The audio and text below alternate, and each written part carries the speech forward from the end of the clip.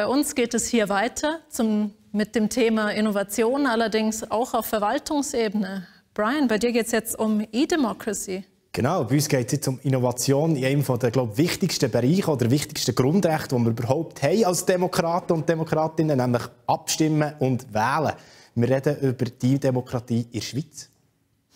Bin ich gespannt und äh, bin gespannt zu hören, wo da Bern sich verortet.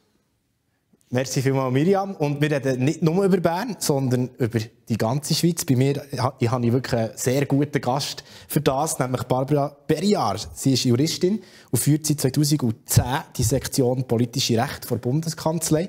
Äh, ihr seid also eigentlich direkt zuständig für die Planung und Organisation äh, von der Wahlen, von der Abstimmungen und eben auch für E-Demokratie. Ganz herzlich willkommen. Merci vielmals.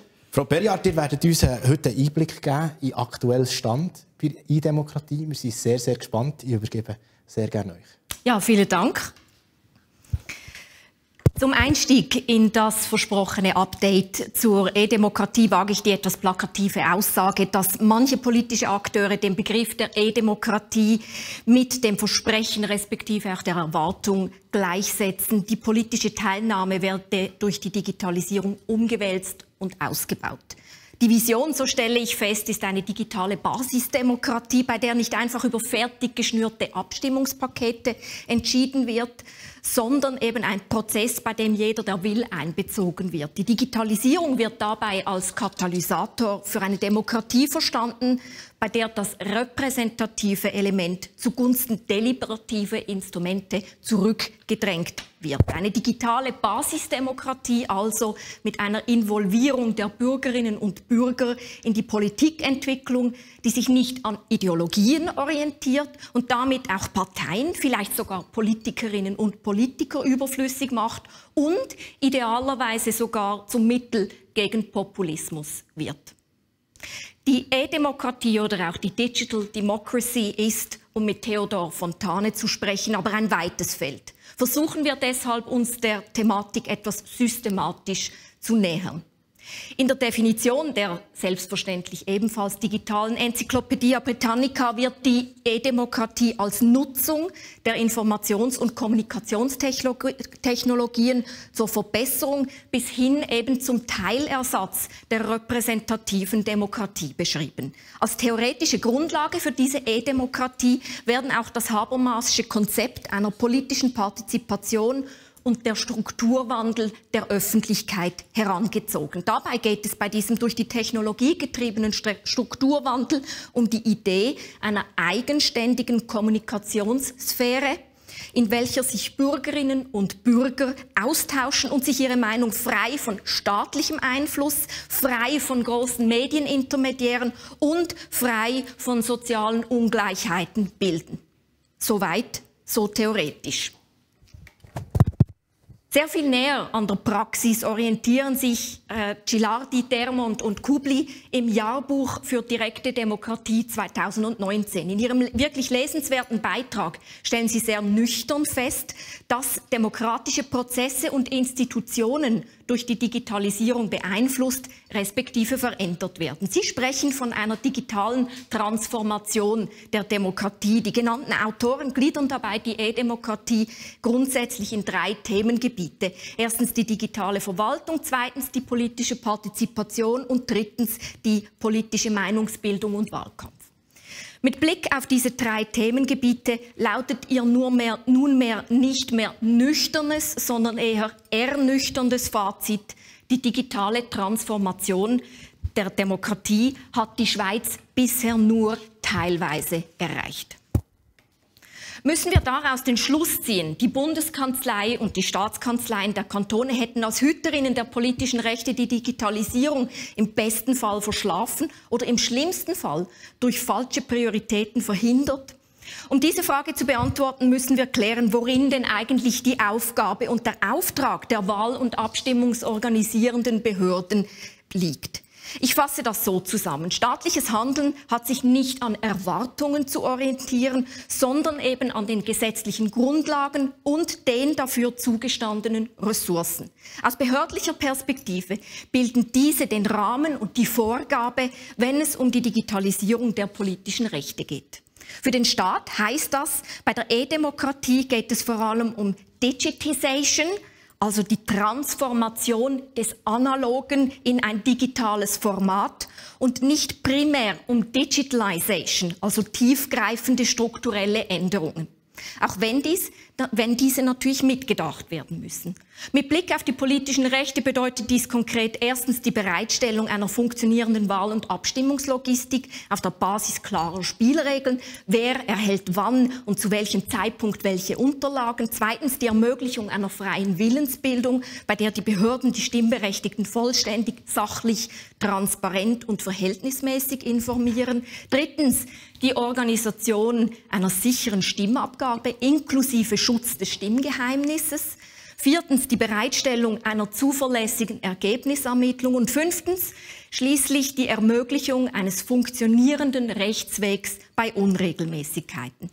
Das sind die Kernaufgaben der Wahl- und Abstimmungsorganisierenden Behörden in der Schweiz. Eigentlich eine Selbstverständlichkeit in einer Demokratie. Warum ich das dennoch betone?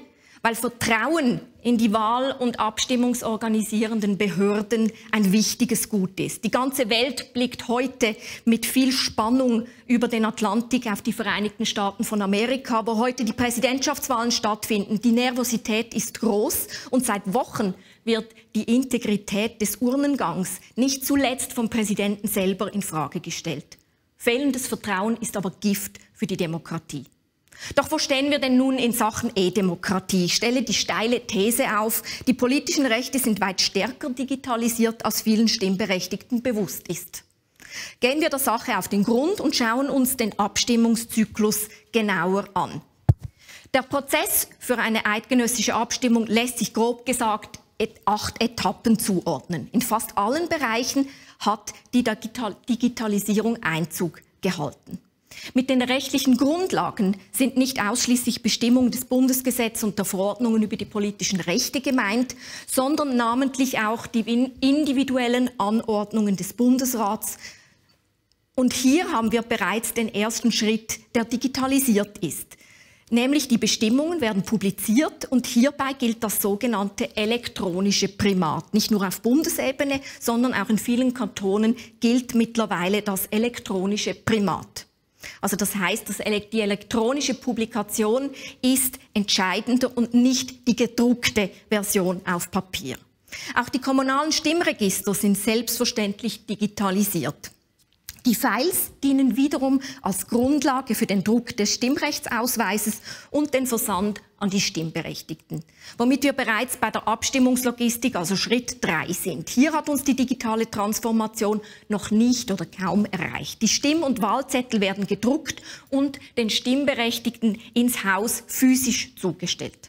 Der Bundesrat hatte mit einer im Dezember 2018 vorgelegten Vernehmlassungsvorlage für eine Teilrevision des Bundesgesetzes über die politischen Rechte vorgesehen, eine sogenannte teilweise Dematerialisierung zu ermöglichen. Kantone mit einem Anmeldeverfahren für E-Voting wären befugt worden, den angemeldeten Stimmberechtigten die Stimm- und Wahlzettel, die Abstimmungserläuterungen oder die Wahlanleitung und allenfalls weitere ähm, Unterlagen nicht mehr in Papierform zuzustellen sondern eben äh, äh, hier wäre das elektronisch möglich gewesen. Die Gesetzesrevision wurde aber aufgrund der Ergebnisse der Vernehmlassung nicht weiter verfolgt. Ob und in welcher Form gegebenenfalls ein neuer Anlauf hierzu genommen wird, muss ich für den Moment offen lassen.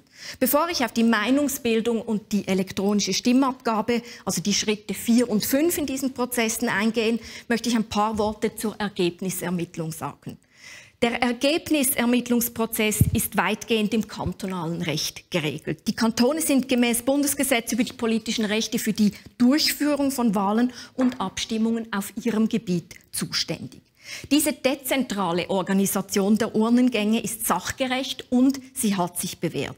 Die Kantone verwenden dabei digitale Systeme zur Unterstützung dieser Ergebnisermittlung. Damit ist Beispielsweise die Wahl- und Abstimmungssoftware gemeint, mit der die kommunalen Ergebnisse zusammengeführt werden oder die Sitzzuteilung bei Proporzwahlen berechnet wird. Jüngst wurde Kritik laut, verschiedene dieser im Einsatz stehenden Systeme hätten Schwachstellen und würden Sicherheitslücken aufweisen. Bund und Kantone haben unabhängig von der Zuständigkeit klar festgestellt, dass Mängel an den technischen Systemen und deren Betrieb analysiert und wo nötig behoben werden müssen. Die Kantone haben einen intensiveren Austausch in dieser Sache angekündigt und die Bundeskanzlei wird diesen Austausch unterstützen. Außerdem hat die Bundeskanzlei vorgesehen, für das kommende Jahr unter Einbezug der Kantone eine Analyse der Wahl- und Abstimmungsprozesse vorzunehmen und bei Bedarf Maßnahmen auszuarbeiten. Von den Wahl- und Abstimmungssystemen zu unterscheiden ist das sogenannte E-Counting, wie wir es beispielsweise hier in der Stadt Bern kennen. E-Counting ist ein klassischer Anwendungsfall, in dem manuelle Abläufe digitalisiert und in der Folge effizienter werden. Die Stimmzettel werden eingescannt und elektronisch den Ja-Stimmen oder Nein-Stimmen oder Leerstimmen zugeordnet. Dieses Verfahren muss vor dem Einsatz in den Gemeinden oder Kantonen für eidgenössische Abstimmungen vom Bundesrat bewilligt werden. Außerdem überprüft die Bundeskanzlei die für das Verfahren benötigten besonderen Stimmzettel. Die Sicherheit ist also auch hier oberstes Gebot. Weit fortgeschritten ist die Digitalisierung zudem im Bereich der Information der Stimmberechtigten. Lassen Sie uns dies vertieft anschauen. Der Bundesrat hat einen gesetzlichen Auftrag mit Blick auf eidgenössische Abstimmungen. Der Bundesrat ist dabei aber in ein relativ enges Korsett an gesetzlichen Vorgaben eingeschnürt. Die Information muss vollständig sein, sachlich, transparent und verhältnismäßig. Sie darf nicht einseitig sein, sondern sie muss auch die Positionen wesentlicher Minderheiten berücksichtigen. Kurz gesagt, Information ja, Propaganda nein. Gleichzeitig stellt die Digitalisierung die Behörden vor Herausforderungen. So gilt es nämlich eben mehrere Kanäle parallel zu bespielen und auch die Einhaltung dieser vor, äh, vorher genannten gesetzlichen Vorgaben stellt eine gewisse Herausforderung dar namentlich eben was das Kriterium der Sachlichkeit betrifft. Denn nicht ohne Grund sagt der Volksmund, ein Bild sagt mehr als tausend Worte. In der visuellen Kommunikation, also in der Wahl ihrer Bildsprache, müssen die Behörden deshalb besondere Vorsicht walten lassen.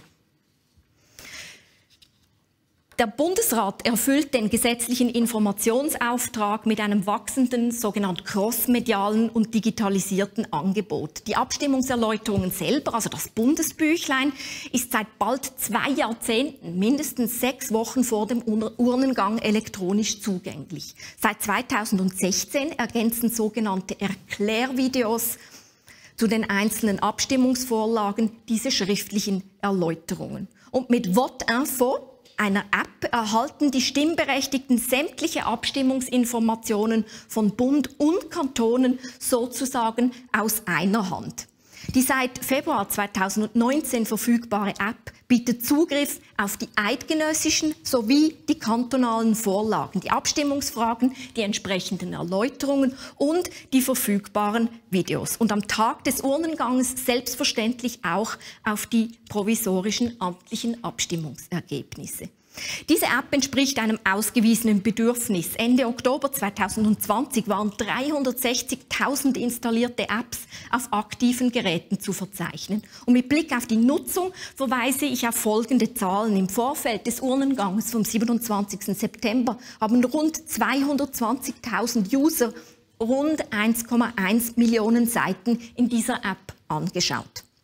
Also auf die Erläuterungen zugegriffen. Am Abstimmungstag selber haben dann rund 170.000 170 User in 340.000 Besuchen die Resultate angeschaut und dabei rund 2,4 Millionen Seitenansichten getätigt.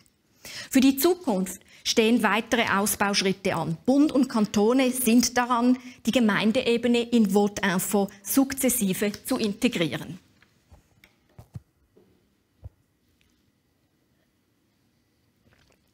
Von einer Erfolgsgeschichte nun zu einer eher etwas dornenvollen Geschichte, würde ich sagen. E-Voting, die elektronische Stimmabgabe. Wo steht die Schweiz heute? Nachdem über mehrere Jahre bis zu 14 Kantone E-Voting angeboten hatten, steht derzeit kein einsatzbereites System zur Verfügung. Oder anders ausgedrückt, den Fans von Little Britain sicher geläufig, the computer says no. Der Kanton Genf hatte 2018 entschieden, sein eigenes System nicht mehr weiterzuentwickeln und hat die Versuche eingestellt. Die Schweizerische Post hat ihr System im Sommer 2019 aufgrund von festgestellten Mängeln im Quellcode zurückgezogen und arbeitet seither an Verbesserungen. Der letzte Urnengang, bei dem E-Voting zum Einsatz kam, war im Mai 2019. Seither fanden keine Versuche mehr statt und auch bei den Nationalratswahlen 2019 war E-Voting zum Leidwesen vieler Auslandschweizer Stimmberechtigten nicht mehr im Einsatz. Der Bundesrat hat die Bundeskanzlei beauftragt, in Zusammenarbeit mit den Kantonen die Neuausrichtung des Versuchsbetriebes zu erarbeiten. Gemäß diesem Auftrag sollten vier Schwerpunkte bei der Neuausrichtung dieses Versuchsbetriebes gelegt werden. Erstens die Weiterentwicklung der Systeme hin zur vollständigen Verifizierbarkeit mit einem besonderen Fokus auf die Qualität des Quellcodes. Zweitens wirksamere Kontrollen. Diese sollten unabhängige Prüfungen zu umfassen und das Risikomanagement verbessern.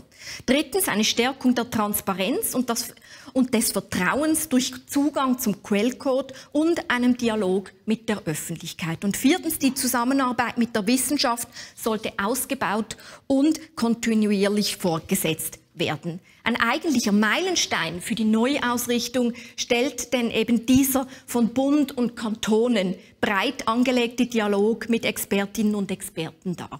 Am Dialog haben sich mehr als 20 in- und ausländische Expertinnen und Experten aus Wissenschaft und Industrie beteiligt. Insgesamt gingen über 700 Stellungnahmen ein. Die Ergebnisse dieses Dialogs sollen demnächst veröffentlicht werden. Ohne der Publikation vorgreifen zu wollen, kann Folgendes festgestellt werden. Die Expertinnen und Experten sind der Ansicht, dass in der Schweiz im bisherigen Versuchsbetrieb schon viel erreicht wurde. Viele können sich vorstellen, dass E-Voting sich bis in 15 Jahren als vertrauenswürdiger Stimmkanal etabliert haben wird. Einige sind nicht sicher, ob E-Voting das nötige Vertrauen gewinnen kann. Handlungsbedarf sehen die Expertinnen und Experten vor allem bei der Sicherheit und bei der Transparenz der Systeme sowie ihrer unabhängigen Überprüfung.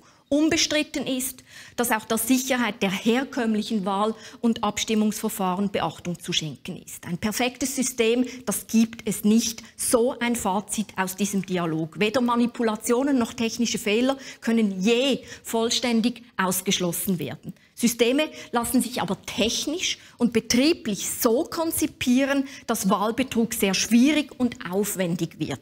Die Verifizierbarkeit spielt dabei eine wichtige Rolle. Die Ergebnisse dieses Dialogs sollen, wie gesagt, demnächst veröffentlicht werden und sie sollen die rechtlichen und technischen Grundlagen äh, für, das neue Versuch, für den neuen Versuchsbetrieb bilden. Und wie sehen denn diese nächsten Schritte aus? Bund und Kantone sind derzeit daran, die künftigen Anforderungen an den Versuchsbetrieb auszuarbeiten.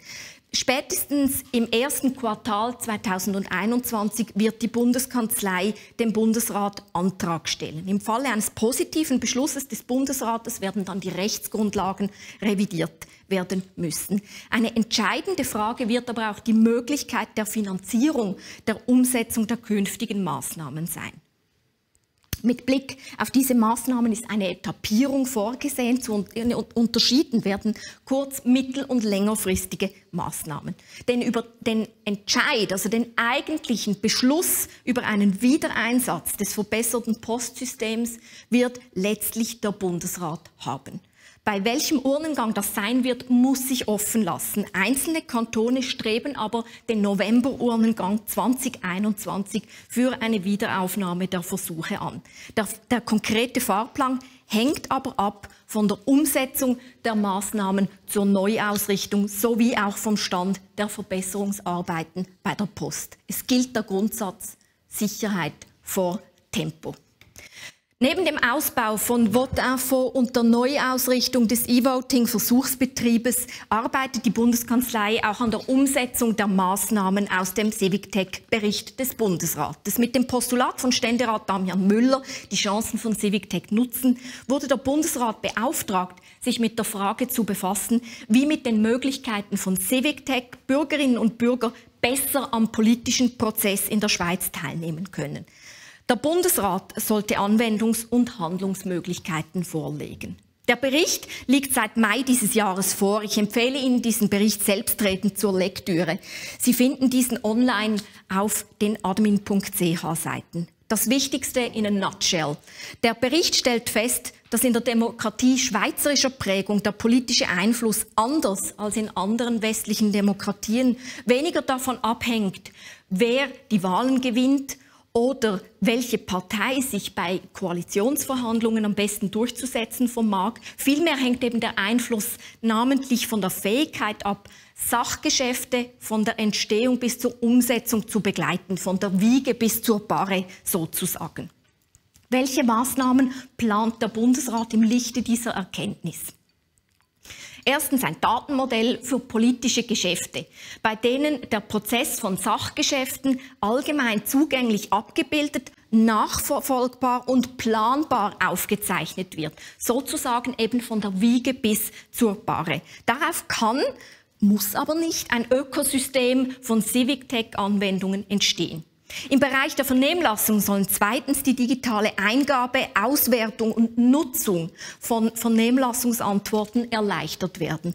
Und drittens, es soll eine Publikationsplattform für Petitionen geprüft werden. Gerade während der Corona-Pandemie wurde dieses verfassungsmäßige Recht von den Behörden gehört zu werden überdurchschnittlich oft genutzt. Gegen 90 Petitionen wurden im laufenden Jahr bei der Bundeskanzlei zuhanden des Bundesrates eingereicht. Das sind rund drei bis viermal so viele Petitionen wie im Durchschnitt der letzten zehn Jahre. Der Staats der staatspolitische Nutzen, aber auch die technische Machbarkeit dieser Publikationsplattform sollen von der BK in den kommenden Monaten geprüft werden. Ich fasse zusammen. Die Wahl- und Abstimmungsorganisierenden Behörden von Bund und Kantonen arbeiten derzeit daran, an einem weiteren Ausbau der digitalisierten Information der Stimmberechtigten via Votinfo. Dann an der Neuausrichtung des Versuchsbetriebs der elektronischen Stimmabgabe und drittens eben an der Umsetzung verschiedener Maßnahmen im Bereich Civictech. Außerdem ist vorgesehen für das kommende Jahr unter Einbezug der Kantone eine Analyse der Wahl- und Abstimmungsprozesse vorzunehmen und bei Bedarf Maßnahmen auszuarbeiten, die die Wahrnehmung der politischen Rechte namentlich auch in außerordentlichen Lagen sicherstellen. Gleichzeitig sieht die Bundeskanzlei in ihren Jahreszielen 2021 vor, Kantone, die Pilotversuche im Bereich E-Collecting durchführen wollen, bei Bedarf zu unterstützen. Die Kantone Basel-Stadt und St. Gallen haben für entsprechende Versuche die Rechtsgrundlage geschaffen. Die Kantone agieren hier einmal mehr als wichtiges Labor im Bereich der politischen Rechte. Die Geschichte zeigt, dass Instrumente, die sich auf kantonaler Ebene bewähren, über kurz oder lang auf eidgenössischer Ebene durchsetzen können. Zudem soll die Möglichkeit der Digitalisierung von Teilprozessen bei Unterschriftensammlungen, namentlich der Bescheinigungsprozess, geprüft werden. Bei der Konzeption entsprechender Versuche muss es darum muss es das Ziel sein, nicht einfach die bestehenden Prozesse zu digitalisieren. Vielmehr besteht die Notwendigkeit, die Prozesse und allenfalls auch Zuständigkeiten gänzlich neu zu denken um einen echten Mehrwert für die Zukunft zu generieren. E-Collecting ist eben damit kein Digitization-Vorhaben. Es geht nicht um die reine Digitalisierung bestehender Prozesse, sondern grundsätzlich um die Funktionsweise demokratischer Instrumente. Last but not least beteiligt sich die Bundeskanzlei aber aktiv auch an weiteren wichtigen Projekten. Dabei geht es um die Herausforderungen respektive die Risiken der E-Demokratie. Ich möchte vorab zwei Beispiele nennen. Zum einen unterstützt die Bundeskanzlei das Bundesamt für Kommunikation bei der Erarbeitung eines Berichts bezüglich der möglichen künftigen Gouvernance, also der Regelung von Intermediären. Es geht dabei, etwas vereinfacht gesagt, um den Schutz der Demokratie vor Desinformation und Beeinflussung Beeinflussungsoperationen via die sozialen Medien. Zum anderen will sich die Bundeskanzlei namens der Schweiz aber auch aktiv bei der Erarbeitung von möglichen Guidelines des Europarates im Bereich der New Voting Technologies einbringen. Und damit komme ich zum Schluss meiner Ausführungen. In Vorstellungsgesprächen werden Kandidatinnen und Kandidaten häufig gefragt, wo sie sich denn in fünf bis zehn Jahren sehen. Lassen Sie uns diese Frage nicht mit Blick auf mich persönlich, sondern mit Blick auf die politischen Rechte und die Digitalisierung beantworten. Ohne Gewehr versteht sich. 2030 wird die Transformation der Demokratie auch, aber nicht nur getrieben durch die Covid-Pandemie, weiter fortgeschritten sein. Gilardi, Dermont und Kubli, die Forscher, die ich zu Beginn erwähnt, erwähnt habe, werden dann zumal im Jahrbuch 20 30 für direkte Demokratie hoffentlich feststellen können, die Transformation der Demokratie sei in der Schweiz weit fortgeschritten. Die vorsichtig digitalisierte politische Partizipation sei um neue Anwendungsfelder wie die E-Vernehmlassung oder Versuche mit E-Collecting erweitert worden. Die Sicherheit des E-Collecting-Stimmkanals werde durch ein dynamisches Risikomanagement, eine Open-Source-Lösung und kontinuierliche wissenschaftliche Begleitung Rechnung getragen und erlauben den Auslandschweizer Stimmberechtigten und Menschen mit besonderen Bedürfnissen die uneingeschränkte politische Partizipation. Gleichzeitig hätte man die Herausforderungen und Risiken der Digitalisierung im Bereich der Meinungsbildung durch, einen international abgestimmten, durch eine international abgestimmte Gouvernanz im Bereich der Intermediäre und sozialen Medien, im Bereich der künstlichen Intelligenz und im Bereich der New Voting Technologies antizipiert. Ich danke Ihnen vielmals. Ich danke Ihnen, Frau Perriard. Sehr spannend gewesen, der kohärente Überblick. Es ist wirklich man kann sagen, Gesamtrundumschlag. Wir wissen jetzt eigentlich alles, was läuft. Wir haben jetzt noch genau zweieinhalb Minuten, nicht so viel Zeit für Fragen. Ähm, aber ihr habt hier sehr wenige Fragen offen gehabt, muss ich sagen. Ich glaube, das, was die Leute jetzt am meisten interessiert, ihr habt es erwähnt, heute, 3. November, äh, klassisch der amerikanische Wahltag. Wir äh, reden hier über E-Demokratie. In Amerika wird vom Präsidenten höchstpersönlich die Briefwahl angezweifelt. Sicherheit ist ein Thema im Rahmen von dieser ganzen Digitalisierung. Wie, wie fest habt ihr das Gefühl, dass, dass aufgrund von solchen Sachen auch Misstrauen gesetzt wird oder Misstrauen kommt in den Leuten und das zu problematischen Situationen kann führen in Zukunft? Mhm. Also ich denke schon, eben, dass die, die Diskussion, wie sie geführt wird in den Vereinigten Staaten, die wird nicht ohne Einfluss bleiben, auch auf Diskussionen in Europa. Gerade jetzt in den Zeiten der Covid-Pandemie haben sich verschiedene Staaten äh, in Europa die Frage gestellt, äh, sollen wir und, und wenn wir die voraussetzungslose äh, briefliche Stimmabgabe einführen. Wir vergessen immer, das System, wie es die Schweiz kennt, mit der wirklich voraussetzungslosen brieflichen Stimmabgabe, das kennen dieser Form und deren Ausprägung nur wir. Und der Kanal genießt bei uns ein höchstes Vertrauen. Dafür spricht, dass rund 90 Prozent von denen, die an einer Abstimmung teilnehmen, auch diesen Kanal dann wählen. Also von dem her ist es aber auch hier, letztlich geht alles auf die Frage zurück vom Vertrauen was, was für ein Vertrauen besteht von Seiten der Bevölkerung in Behörden. Andererseits natürlich auch umgekehrt von den Behörden in die Stimmberechtigten. Und dort haben wir in der Schweiz doch eine einmalige Situation. Und das ist auch ganz ein wichtiges Gut. Und das gilt es wirklich für die Zukunft auch unbedingt zu bewahren und zu verteidigen. Also eigentlich, wenn ich euch wahrnehme, oder, der demokratische Prozess ist ein heiliger, ist ein wichtiger in so alten Demokratien, wie wir uns so drinnen befinden, zum Glück. Mhm. Ähm, mhm. Briefwahl ist dort eigentlich innovativ, wenn man es jetzt vergleicht international. Trotzdem, wir sind hier im Rahmen der Digitaltage, man kann nicht zufrieden sein.